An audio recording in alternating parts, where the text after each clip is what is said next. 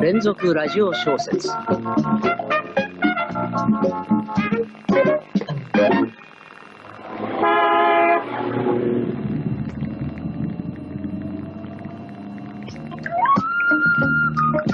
俺は今打ち込んだった。何しろいい気分なのだ。俺にはでっかい金儲けが待っている。中産中級の洒落た住宅街フォレストヒルズジェス・アークライト邸はこの丘の中心部にある。俺はその屋敷を訪れ依頼主 JR ウェルキン氏注文の一冊の古ぼけた本をもらい受けてくそれだけでなんと10万ドルの礼金が転がり込む。ヤッホー！プレゼントの嫌いな女はいない。それが宝石となればなおさらだ。男嫌いのキャロラインもきっと俺を見直すだ。ろう俺にはあのキャロラインのため息が聞こえる俺に近づく彼女の甘い唇が見えるそして俺はキャロラインおっと。俺は急いで空想をやめた。キャロラインとの楽しみを前に一人で天国行っちまったんじゃ話にならない。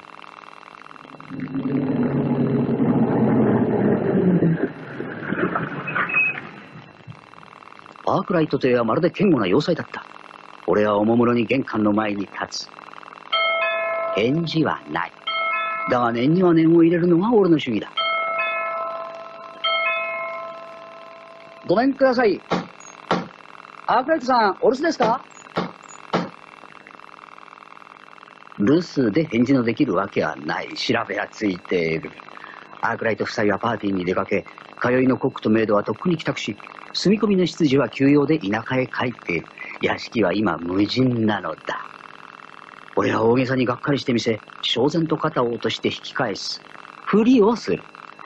誰か見ているものがあった時のための用心だ。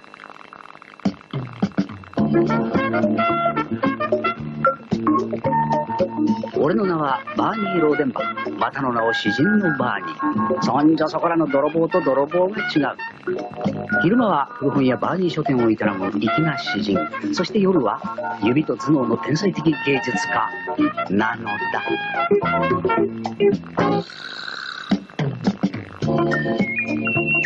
泥棒は詩を口ずさむ。第2回。原作ローレンス・ブロック役田口俊樹脚本長坂秀香音楽大野裕二。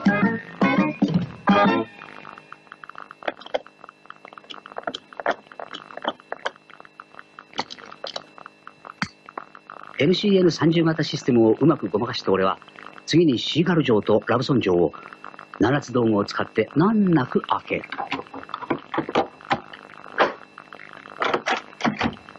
3インチばかり開いたドアの隙間から指を差し入れ鎖状を外す。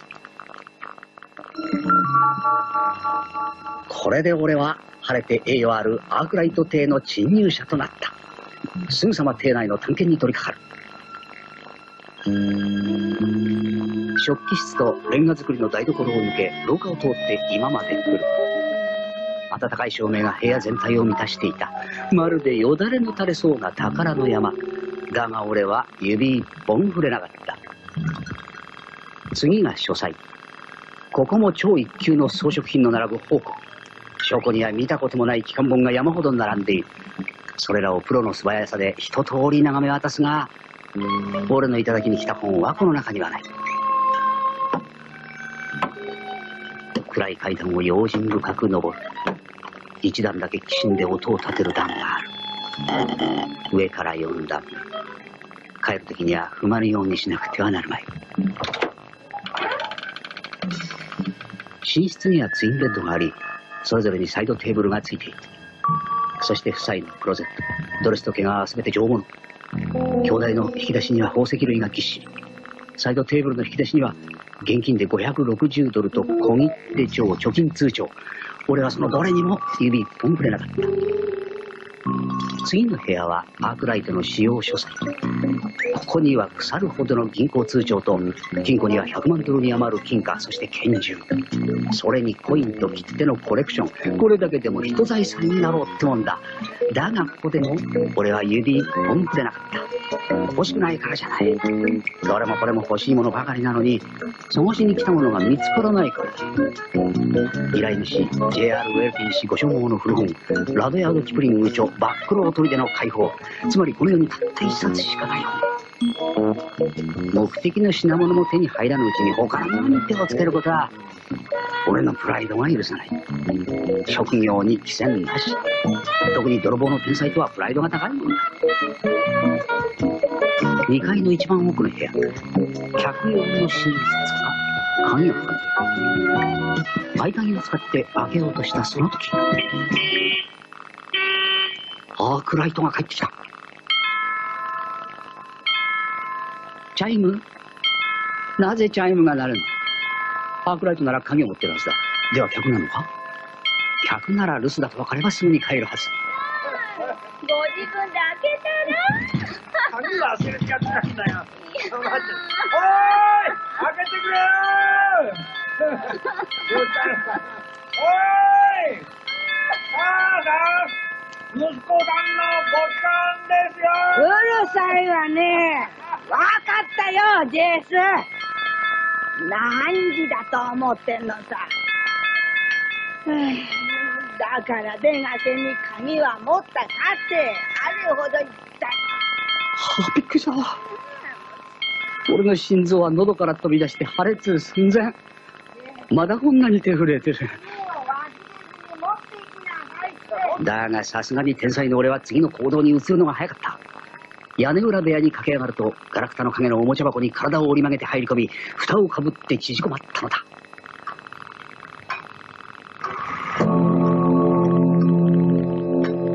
1時になると俺はそっと吐いてる。30分前から物音は全く聞こえなくなっていた。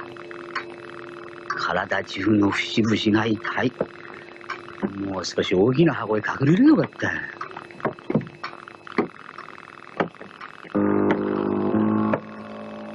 俺は1階の書斎へ戻った。アークライトの飲み残しと思われるブランデーグラスが置いてある。奴の心理を推理してみる。パーティーから帰る。少し飲み足りない。女房を先に寝かして一杯やる。いや、そこまではいい。だがなぜその場所が書斎なんだ飲みながらここで何かをした。俺なら、そう、一番の宝物の無事を確かめてから寝る。つまり、あの本はここにある。俺は本棚をもう一度見直す。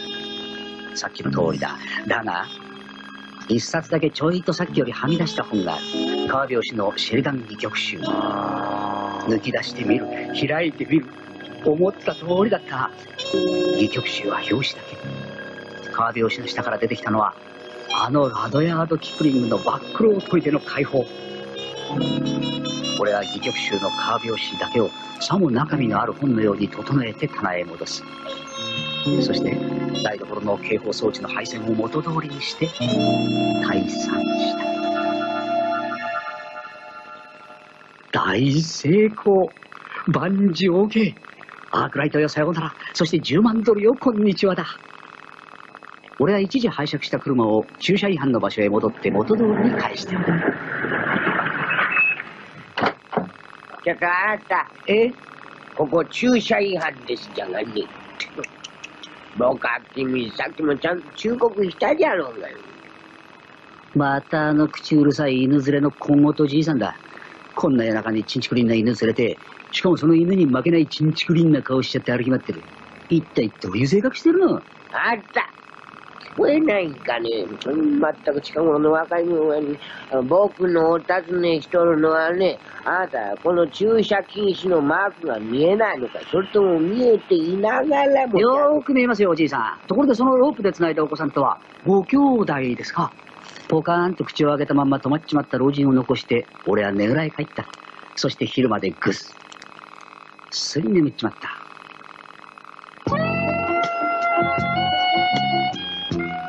キャウ。キャウ。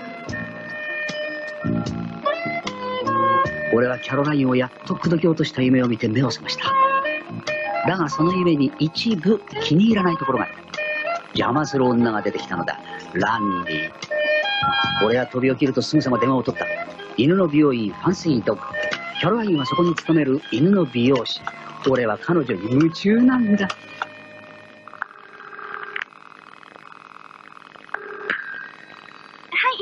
犬美容院ファンシードッグでございます。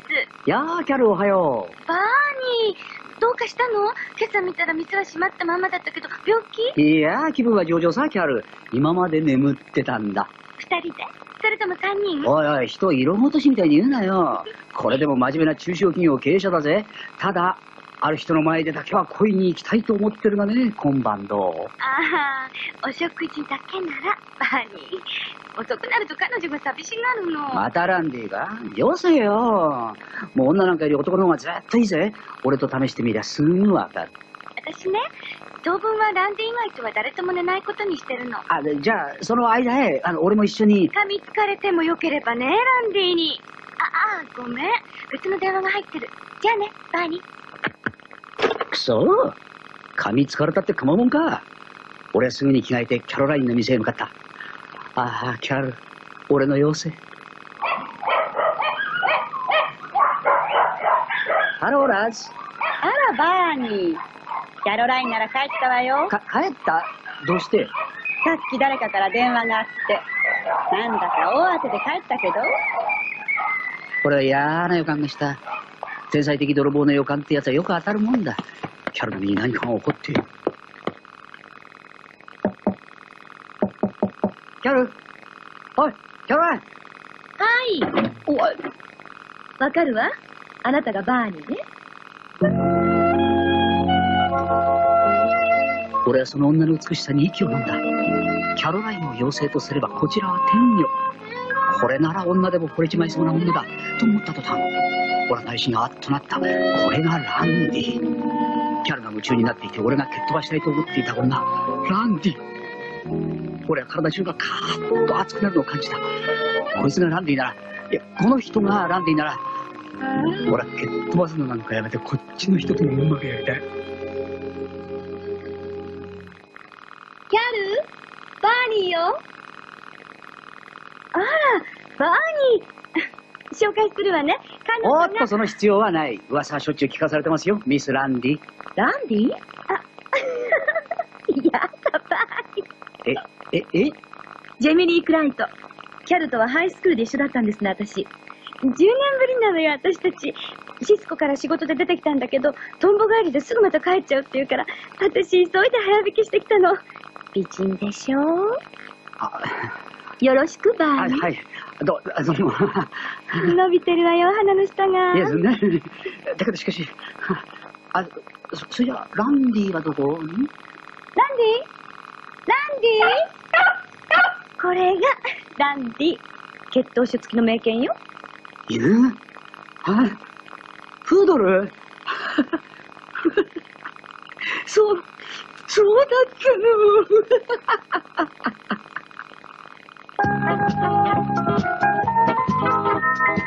俺の世界はバラ色になった。悪い予感なんて点で当たらなかった。嬉しい予感でいっぱいになった。と思った途端、俺の予感はまた外れた。俺が今入ってきたばかりのドアから、ターバンを巻いたインド人が、番組の途中でございますが、ここでニュースをお伝えいたします。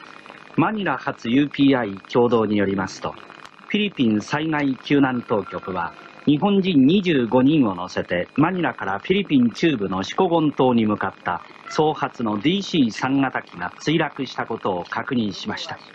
繰り返します。マニラ発 UPI 共同によりますと、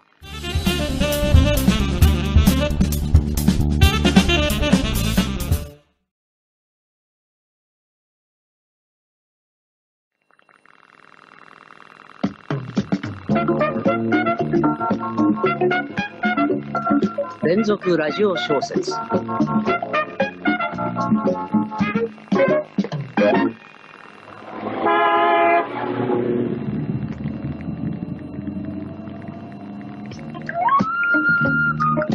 俺は今打ち込んだった何しろいい気分なのだ。俺にはでっかい金儲けが待っている。中産中級の洒落た住宅街フォレストヒルズ。ジェス・アークライト邸はこの丘の中心部にある。俺はその屋敷を訪れ、依頼主 JR ウェルキン氏注文の一冊の古ぼけた本をもらい受けて。それだけでなんと10万ドルの礼金が転がり込む。ヤッホープレゼントの嫌いな女はいない。それが宝石となればなおさらだ。男嫌いのキャロラインもきっと俺を見直すだろう。俺にはあのキャロラインのため息が聞こえる。俺に近づく彼女の甘い唇が見える。そして俺はキャロライン。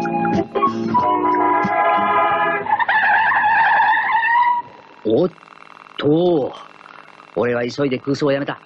キャロラインとの楽しみを前に一人で天国へ行っちまったんじゃ話にならない。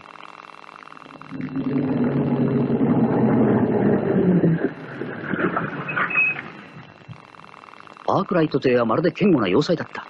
俺はおもむろに玄関の前に立つ。返事はない。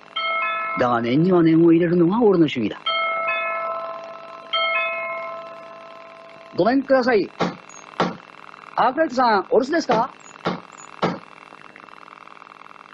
留守で返事のできるわけはない。調べはついている。アークライト夫妻はパーティーに出かけ、通いのコックとメイドはとっくに帰宅し、住み込みの執事は休養で田舎へ帰っている。屋敷は今無人なのだ。俺は大げさにがっかりしてみせ、焦然と肩を落として引き返す。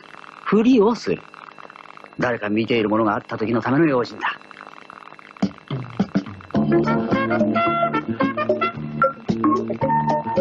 俺の名はバーニー・ローデンバー。またの名を詩人のバーニー。そんじょそこらの泥棒と泥棒が違う。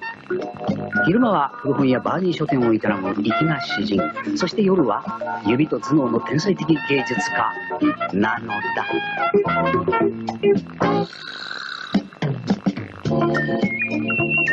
泥棒は詩を口ずさむ第2回。原作、ローレンス・ブロック。役、田口俊樹。脚本、長坂秀香。音楽、大野裕二。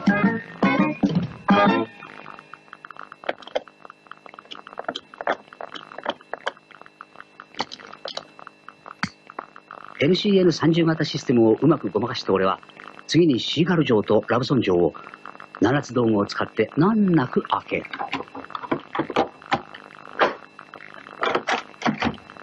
3インチばかり開いたドアの隙間から指を差し入れ、鎖状を外す。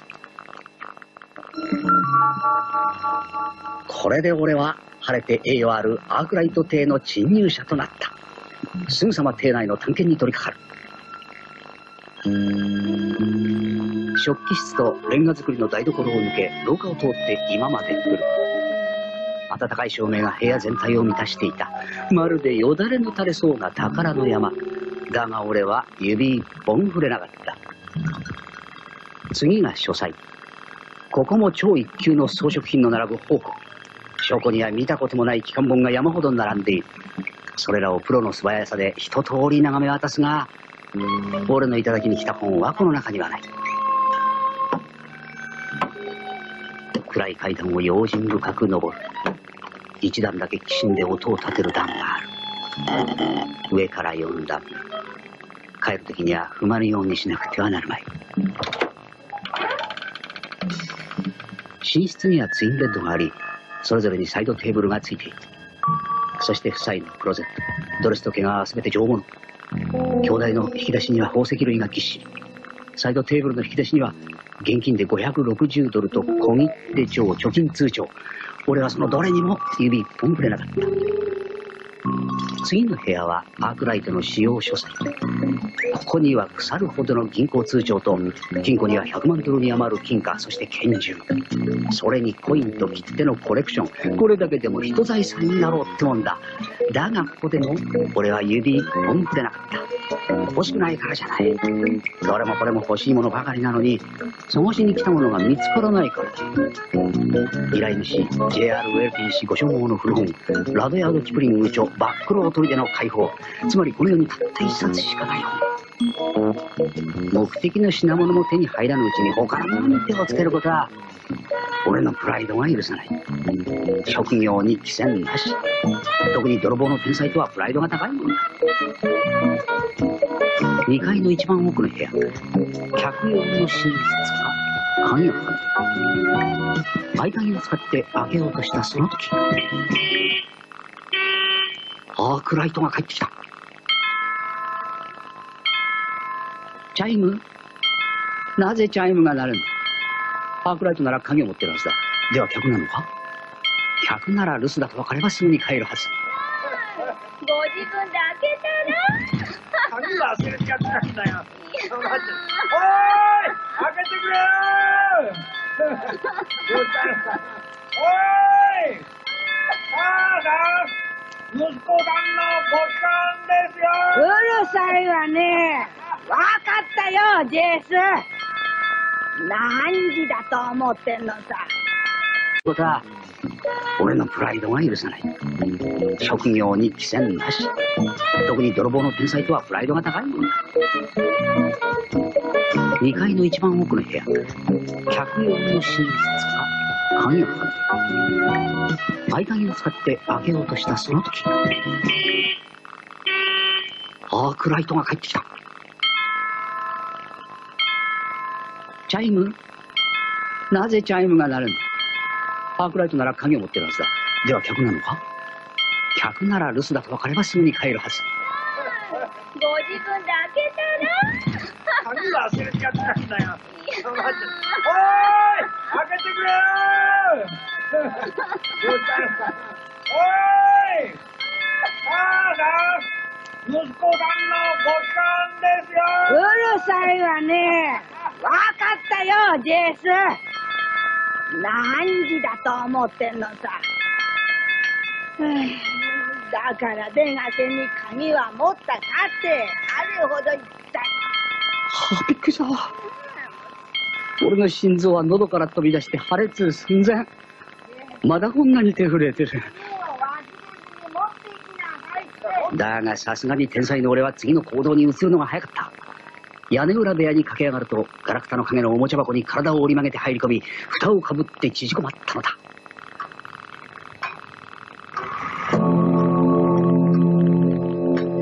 1時になると俺はそっと吐いてる。30分前から物音は全く聞こえなくなっていた。体中の節々に室とレンガ造りの台所を抜け、廊下を通って今まで来る。暖かい照明が部屋全体を満たしていた。まるでよだれの垂れそうな宝の山。だが俺は指一本触れなかった。次が書斎。ここも超一級の装飾品の並ぶ宝庫。証拠には見たこともない機関本が山ほど並んでいる。それらをプロの素早さで一通り眺め渡すが、俺の頂きに来た本はこの中にはない。暗い階段を用心深く登る。一段だけきしんで音を立てる段がある。上から4段。帰るときには踏まぬようにしなくてはなるまい。寝室にはツインベッドがあり、それぞれにサイドテーブルがついている。そして夫妻のクローゼット、ドレスと毛がすべて上物。兄弟の引き出しには宝石類がぎっしり。サイドテーブルの引き出しには現金で560ドルと小切手帳、貯金通帳。俺はそのどれにも指一本触れなかった。次の部屋はアークライトの使用書斎。ここには腐るほどの銀行通帳と、金庫には100万ドルに余る金貨、そして拳銃。それにコインと切手のコレクション。これだけでも人財産になろうってもんだ。だがここでも、俺は指一本触れなかった。欲しくないからじゃない。どれもこれも欲しいものばかりなのに、探しに来たものが見つからないから。依頼主、JR ウェルティ氏ご所望の古本、ラドヤード・キプリング著、バックロー砦の解放。つまりこの世にたった一冊しかない本。目的の品物も手に入らぬうちに他のものに手をつける。留守で返事のできるわけはない。調べはついている。アークライト夫妻はパーティーに出かけ、通いのコックとメイドはとっくに帰宅し、住み込みの執事は休養で田舎へ帰っている。屋敷は今無人なのだ。俺は大げさにがっかりしてみせ、焦然と肩を落として引き返す。ふりをする。誰か見ているものがあった時のための用心だ。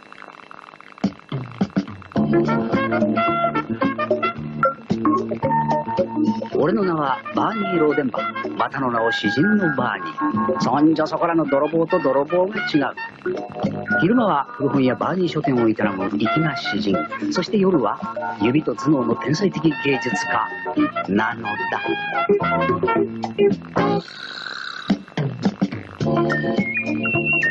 泥棒は詩を口ずさむ。第2回。原作ローレンス・ブロック役田口俊樹。脚本長坂秀香。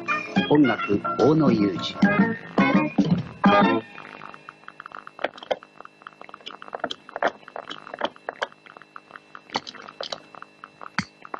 NCN30 型システムをうまくごまかした俺は次にシーガル城とラブソン城を七つ道具を使って難なく開ける。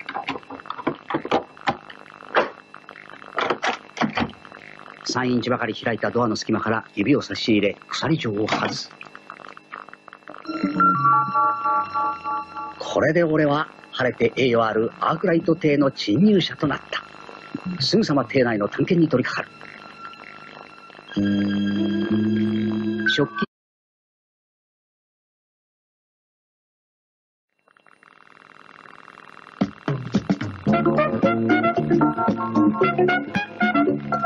連続ラジオ小説。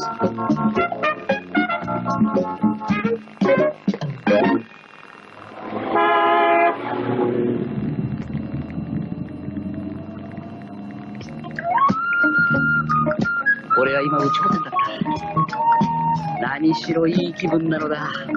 俺にはでっかい金儲けが待っている。中産中級の洒落た住宅街フォレストヒルズジェス・アークライト邸はこの丘の中心部にある。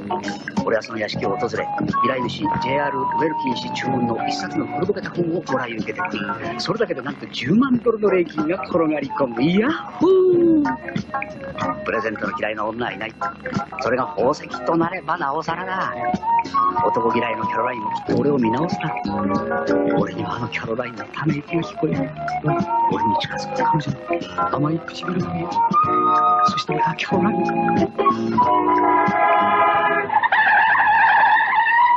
おっと俺は急いで空想をやめた。キャロラインとの楽しみを前に一人で天国へ行っちまったんじゃ話にならない。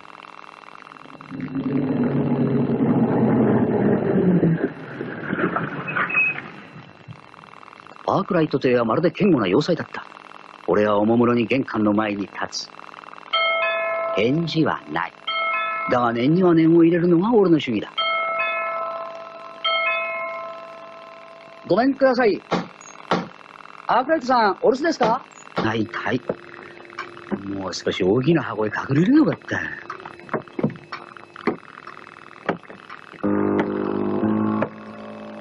俺は1階の書斎へ戻ったアークライトの飲み残しと思われるブランデーグラスが置いてある。奴の心理を推理してみる。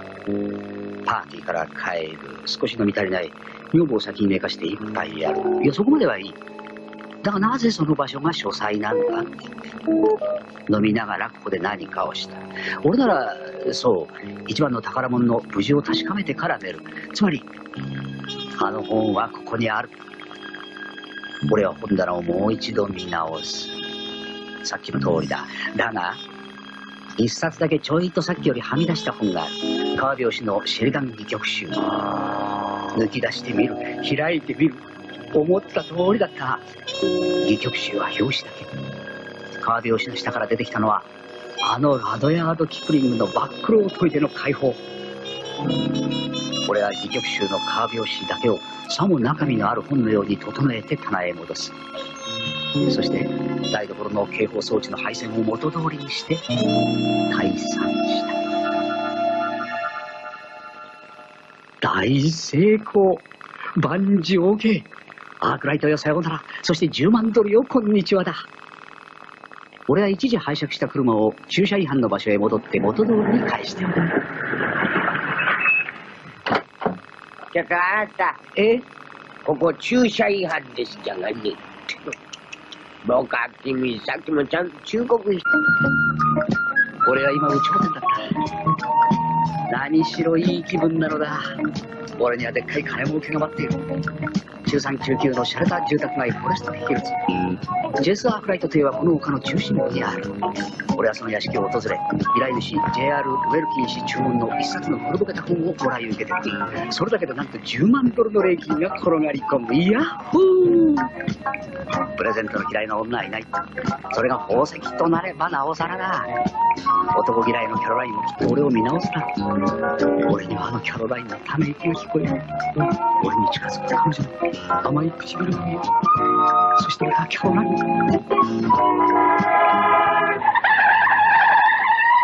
おっと、俺は急いで空想をやめた。キャロラインとの楽しみを前に一人で天国へ行っちまったんじゃ話にならない。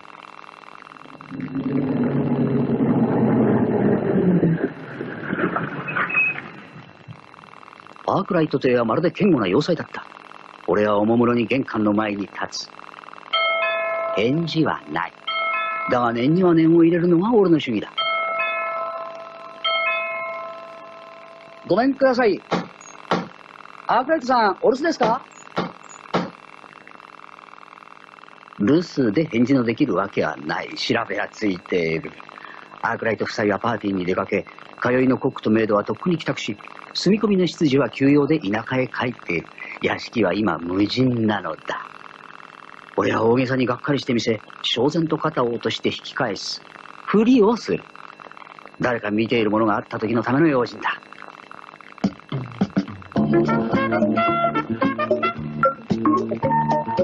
俺の名はバーニー・ローデンバ。またの名を詩人のバーニー。そんじょそこらの泥棒と泥棒が違う。昼間は古本屋バーニー書店を営む粋な詩人。そして夜は指と頭脳の天才的芸術家なのだ。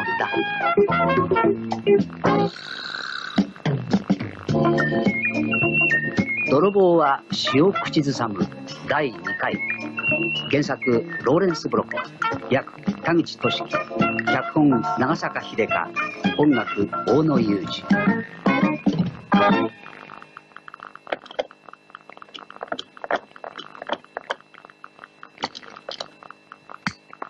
LCN30 型システムをうまくごまかして俺は、次にシーガル城とラブソン城を7つ道具を使って難なく開ける。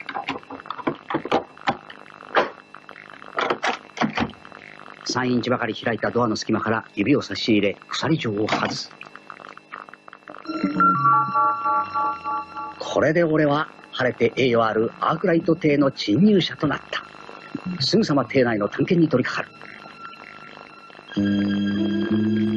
食器室とレンガ造りの台所を抜け、廊下を通って今まで来る。暖かい照明が部屋全体を満たしていた。まるでよだれの垂れそうな宝の山。だが俺は指一本触れなかった。次が書斎。ここも超一級の装飾品の並ぶ宝庫。証拠には見たこともない機関本が山ほど並んでいる。それらをプロの素早さで一通り眺め渡すが、俺の頂きに来た本はこの中にはない。ね、バーニー。くそ噛みつかれたってかまうもんか。俺はすぐに着替えてキャロラインの店へ向かった。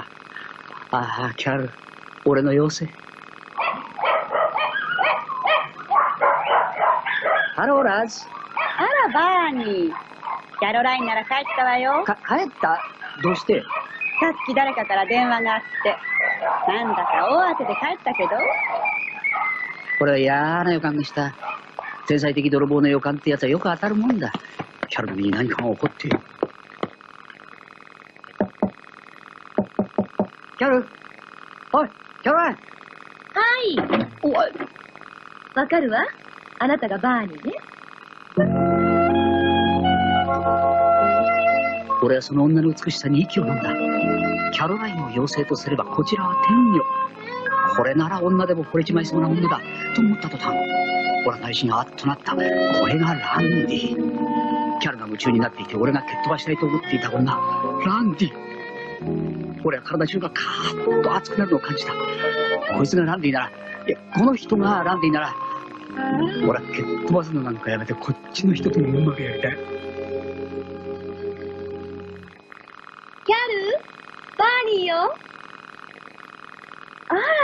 バーニー 紹介するわね。彼お女がっと、その必要はない。噂はしょっちゅう聞かされてますよ、ミス・ランディ。ランディ？あ、やだ、バーニー。え、え、え？ジェミリー・クライト。キャルとはハイスクールで一緒だったんですね、私。10年ぶりなのよ、私たち。シスコから仕事で出てきたんだけど、トンボ帰りですぐまた帰っちゃうって言うから、私急いで早引きしてきたの。美人でしょ？あ、よろしく、バはい、ーニー。はい。ど、どうも。伸びてるわよ、鼻の下が。いや、そんな。だけどしかし、あ、そ、それじゃあ、ランディはどこ？にランディランディこれが、ランディ。血統書付きの名犬よ。犬？あ、フードル？そう、そうだったの。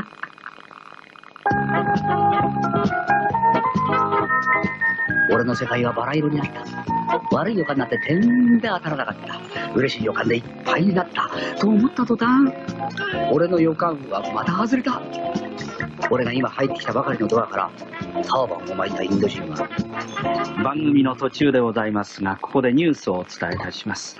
マニラ発 UPI 共同によりますと、フィリピン災害救難当局は、日本人25人を乗せてマニラからフィリピン中部のシコゴン島に向かった総発の DC3 型機が墜落したことを確認しました。繰り返します。マニラ発 UPI 共同によりますと、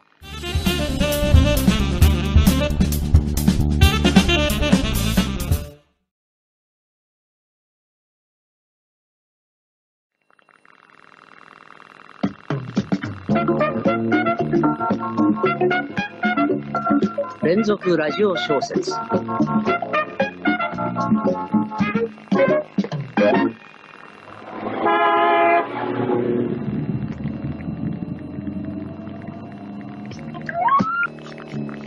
ークライトの飲み残しと思われるブランデーグラスが置いてある。奴の心理を推理してみる。パーティーから帰る。少し飲み足りない。女房を先に寝かして一杯やる。いやそこまではいい。だがなぜその場所が書斎なのか飲みながらここで何かをした。俺ならそう一番の宝物の無事を確かめてから寝る。つまりあの本はここにある。俺は本棚をもう一度見直す。さっきの通りだ。だが一冊だけちょいとさっきよりはみ出した本が川拍子のシェルダン戯曲集抜き出してみる。開いてみる。思った通りだった。戯曲集は表紙だけ。川拍子の下から出てきたのはあのラドヤード・キプリングのバックローを解いての解放。俺は戯曲集の川拍子だけをさも中身のある本のように整えて棚へ戻す。そして台所の警報装置の配線を元通りにして退散した。大成功。万事 OK アークライトよさようならそして10万ドルよこんにちはだ俺は一時拝借した車を駐車違反の場所へ戻って元通りに返しておくちゃかあった。え？ここ駐車違反ですじゃがね。僕は君、さっきもちゃんと忠告したじゃろうがよ。またあの口うるさい犬連れの小言じいさんだこんな夜中にチンチクリンな犬連れてしかもその犬に負けないチンチクリンな顔しちゃって歩き回ってる一体どういう性格してるの？あった。聞こえないかね。全く近頃の若い者に、僕のお尋ねしとるのはね、あなた、この駐車禁止のマークが見えないのか、それとも見えていながらも。よーく見えますよおじいさんところでそのロープで繋いだお子さんとはご兄弟ですか？ポカーンと口を開けたまんま止まっちまった老人を残して俺はねぐらへ帰ったそして昼までぐっすり眠っちまった。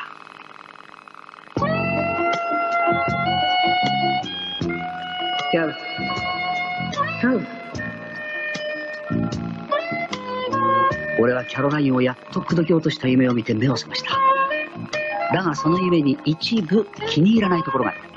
邪魔する女が出てきたのだ。ランディ。俺は飛び起きるとすぐさま電話を取った。犬の美容院ファンシードッグキャロラインはそこに勤める犬の美容師俺は彼女に夢中なんだ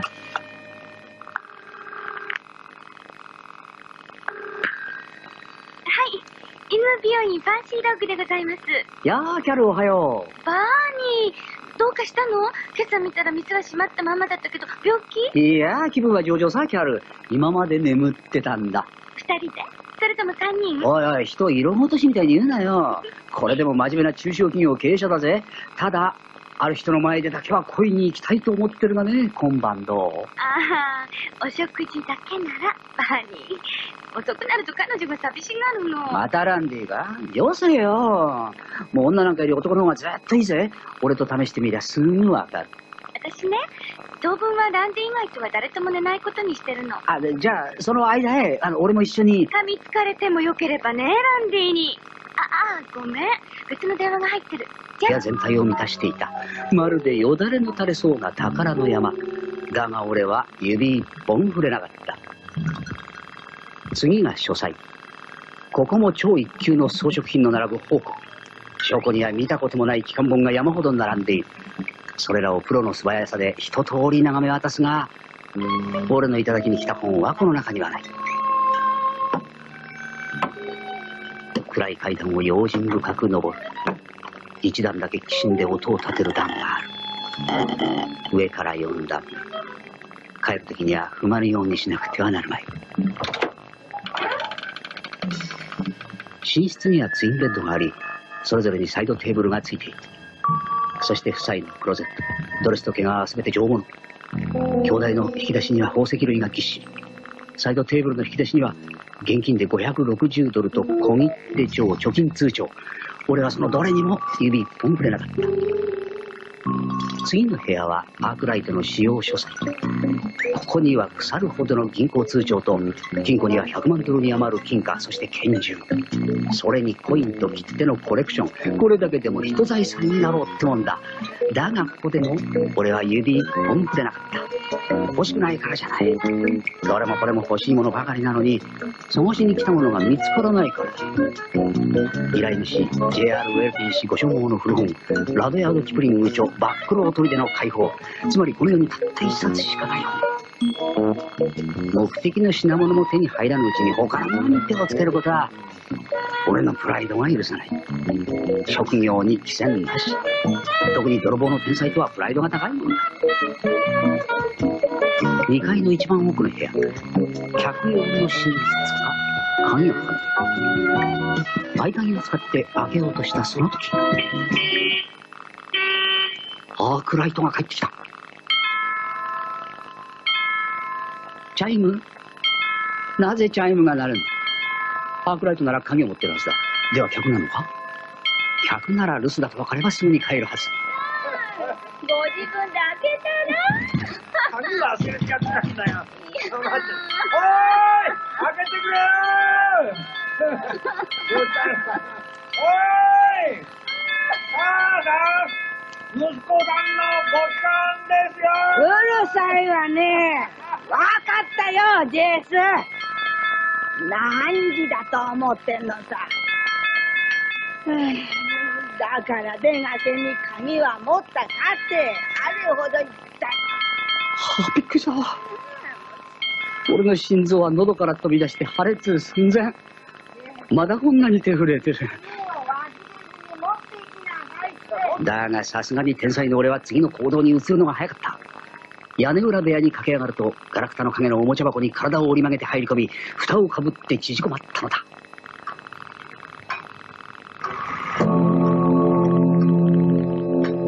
1時になると俺はそっと吐いて。30分前から物音は全く聞こえなくなっていた。体中の節々が痛い。もう少し大きな箱へ隠れるよかった。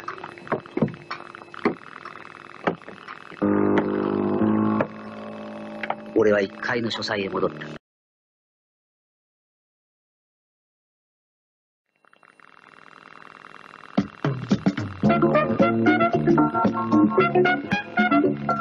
連続ラジオ小説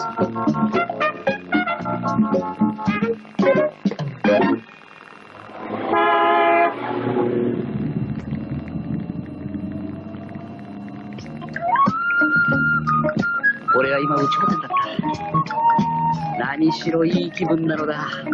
俺にはでっかい金儲けが待っている中産中級の洒落た住宅街フォレストヒルズジェス・アークライト邸はこの丘の中心部にある。俺はその屋敷を訪れ依頼主 JR ウェルキン氏注文の一冊の古ぼけた本をもらい受けてくるそれだけでなんと10万ドルの礼金が転がり込む。ヤッホー。プレゼントの嫌いな女はいない。それが宝石となればなおさらだ。男嫌いのキャロラインもきっと俺を見直すだろう俺にはあのキャロラインのため息が聞こえる俺に近づいた彼女の甘い唇が見えるそして俺はキャロライン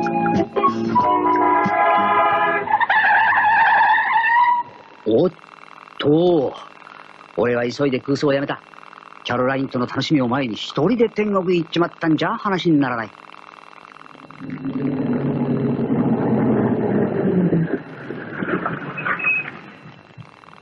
アークライト邸はまるで堅固な要塞だった。俺はおもむろに玄関の前に立つ。返事はない。だが念には念を入れるのが俺の主義だ。ごめんください。アークライトさん、お留守ですか？留守で返事のできるわけはない。調べはついている。アークライト夫妻はパーティーに出かけ、通いのコックとメイドはとっくに帰宅し、住み込みの執事は休養で田舎へ帰っている。屋敷は今無人なのだ。俺は大げさにがっかりしてみせ、焦然と肩を落として引き返す。ふりをする。誰か見ているものがあった時のための用心だ。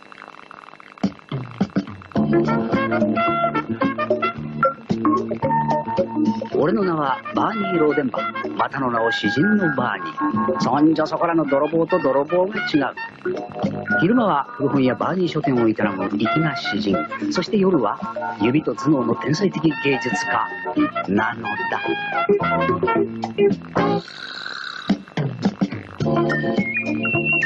泥棒は詩を口ずさむ第2回。原作ローレンス・ブロック。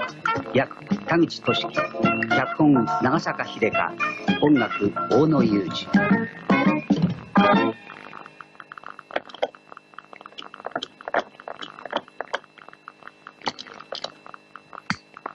NCN30 型システムをうまくごまかした俺は次にシーガル城とラブソン城を七つ道具を使って難なく開ける。